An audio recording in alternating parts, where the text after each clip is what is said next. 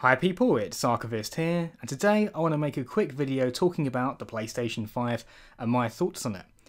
I wanted to do a more fully structured, full-blown review of it, but unfortunately there's a bit of a technical issue on my side where my capture card just is not working with my PlayStation 5.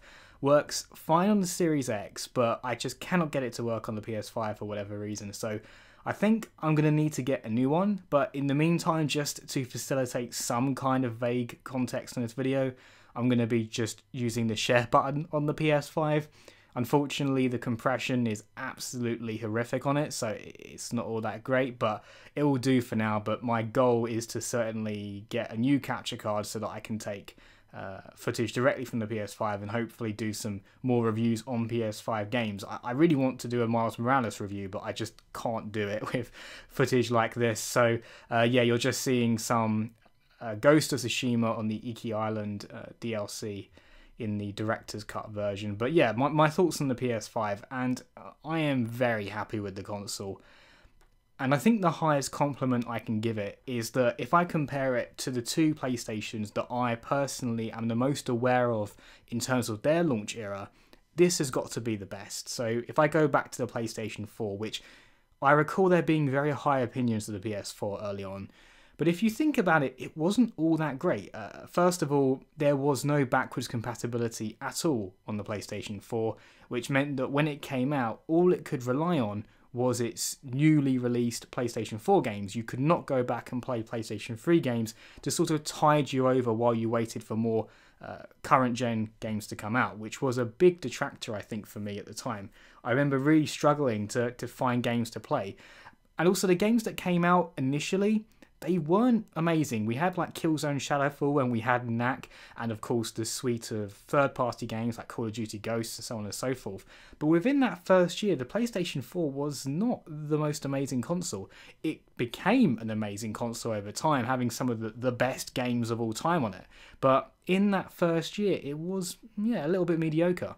And if we go back even further to the PlayStation 3, well, there was backwards compatibility, which meant you could bolster your library. This did actually end up going away on future models because it really inflated the price of the PlayStation 3. But I think the big issue with the PlayStation 3 at launch and actually for a few more years was that the third party games were not very good. The cell processor was almost too advanced for its own good, and developers would struggle to know how to best code their games for it which meant that the 360 equivalent games would often be superior. Even though the PlayStation 3 wasn't technically less powerful than its competition, it was more complex. Over time, gradually this uh, began to change, and developers understood the cell processor and were able to get, I think, relative parity, if I recall, by the end.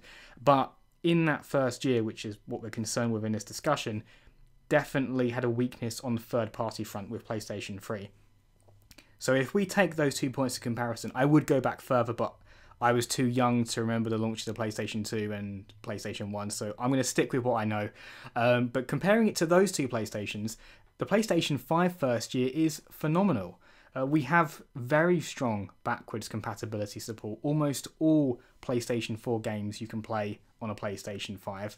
Uh, some of them are getting 60 frames per second patches. A lot of the first party titles are completely for free, which I'm really in love with that. Uh, I think Horizon Zero Dawn has been the most recent, and that's given me a bit of a reason to go back to it. We've also had some amazing exclusives. We've had uh, Miles Morales, which, although not a full game, I think the quality just uh, really makes up for its length. Uh, we also had uh, the Demon Souls remake, which actually motivated me to go and play that game. I would never have played it in its original form. It's just, I guess, too, too antiquated for me visually, um, and this gave me a good reason to go back and play it and really enjoy it.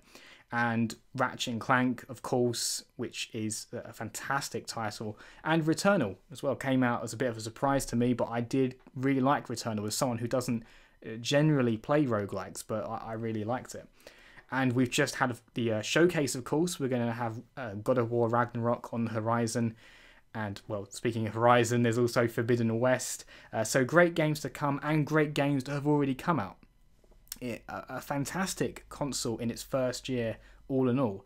And I have very few complaints about it. It's just a very solid device, and we've got some innovations in the fact that the controller is now using more advanced haptics, like the kind of thing you might find in an iPhone, and the triggers. I, I think the implementation of triggers varies game to game. Some I find it to be a little bit of an annoyance, but some I think it really adds to the immersion. Really, any driving game like Dirt 5 it's amazing how much more I enjoy Dirt 5 for having the resistance in the triggers. It really makes you feel like you're driving over a, a, kind of a rickety road and you're struggling to push it forward. I really like what the resistance and the triggers can bring. And graphically, uh, the power jump on the PS4 Pro is fantastic. It's over twice as powerful. So there are some games which ran at 30 FPS on the PS4 Pro, which can now run at 60 FPS and then get more visual benefits on top of it. Like as you're seeing Ghost of Tsushima in the director's cut, it isn't just a 60 FPS boost, it's also got a resolution boost as well on top of that. There's also that all important SSD boost that the PlayStation 5 gets over the PlayStation 4 and PlayStation 4 Pro, and that does make a world of difference. I used to play a lot of third party games on PC because of the fact that the storage was just so slow in the previous consoles using a conventional spinning disc. And the SSD really makes the console feel so much snappier in so many different ways. And there's the passive benefits you get across really all games on loading times, but then there's very uh, interesting examples such as Ratchet and Clank, where the SSD is leveraged in creative ways, such as throwing you very quickly through multiple levels at a time, which can actually impact gameplay. We haven't seen a lot of that yet, and it is going to take developers very deliberately targeting the SSD in order to improve the way that they design games. But um, it's not something we'll even see on all games because it won't be appropriate for every game. But it's nice to see that new paradigm of design unlocked.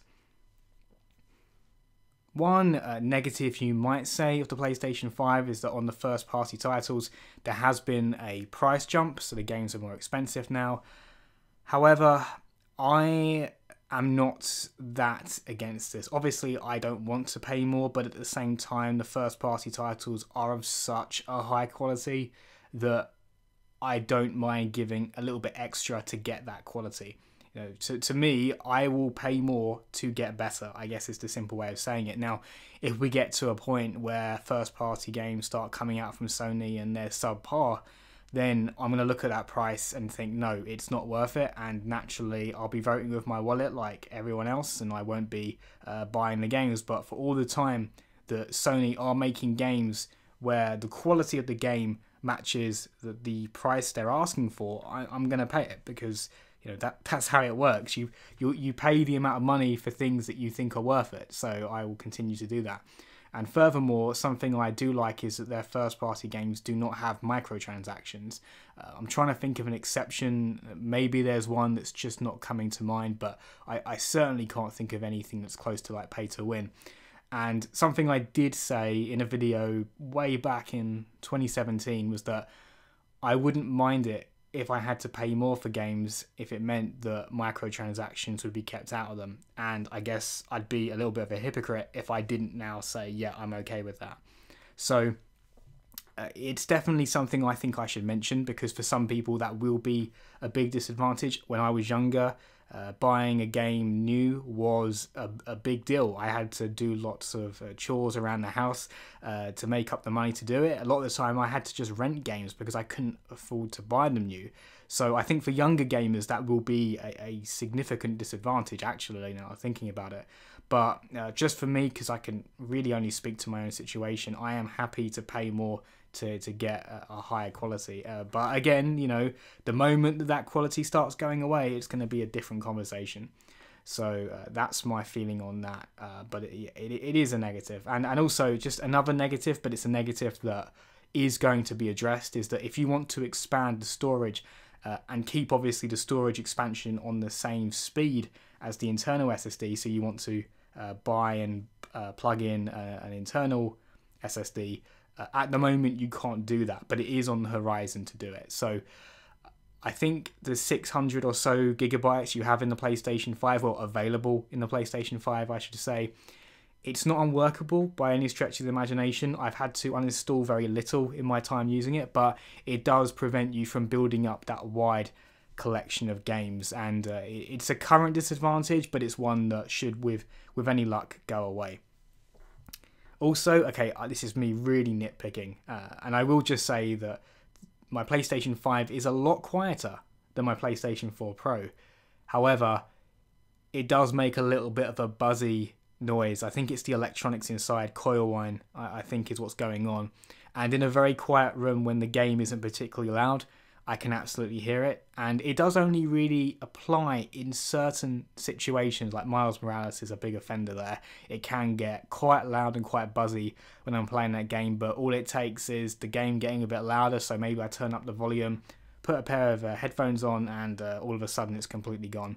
So, from a hardware perspective, that's probably my only is it my only gripe? Uh, I guess it does also have that uh, situation where when the plastic cools down after it's been hot for a while, it does get a bit creaky, which is very common amongst consoles, but there are definitely some models that are affected more so than others, and this is this is on the upper end of plastic creakiness. At least in my environment, it will it will definitely depend on how naturally warm your environment is, because it's the change in temperature from what's uh, being generated on the components versus the external temperature of your environment causing the cool down. And if it's happening very quickly, you can get some creakiness. So uh, could be uh, my environment as well. Happy to to say that, but yeah, it's happening more than my other consoles basically is what I'll say.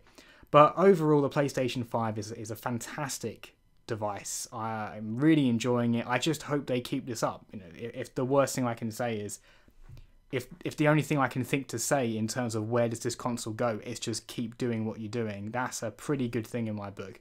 It's not just about promises of the future; it's things right now that are good with the uh, Sony PlayStation 5.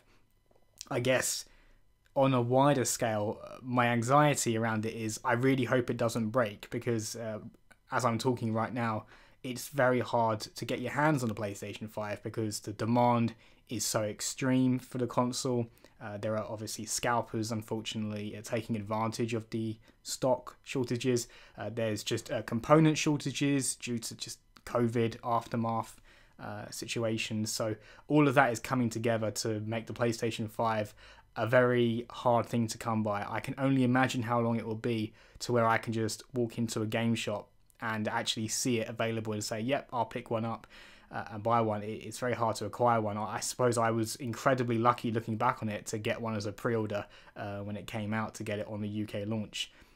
So, you know, and if you're after one and you know you're thinking oh, it's frustrating, well, I do know someone recently who they didn't get one at launch and they just subscribed to all of the Twitter alerts, uh, every uh, notification they could get from any retailer, and they did manage to get one eventually. So it's not an impossible task, it's just harder than I suppose it, it should be, right? I do wonder, are Sony kicking themselves for pricing the PlayStation 5 as they did? Obviously, I'm happy they did price it as they did. I think it's a very reasonable ask for the hardware, but they could have asked for so much more uh, and still had it sold really well. And then they could have just literally reduced the price maybe after a year or so and I don't know if sales would be affected. But then again, obviously, the, the goodwill aspect might have gone down because they might have been seen as profiteering from the uh, the pandemic. So a uh, reputation, especially in the world of gaming, reputation is all important. So yeah, these have been my thoughts on the PlayStation 5, a fantastic console by all accounts. As always, people, thanks very much for watching and see you next time.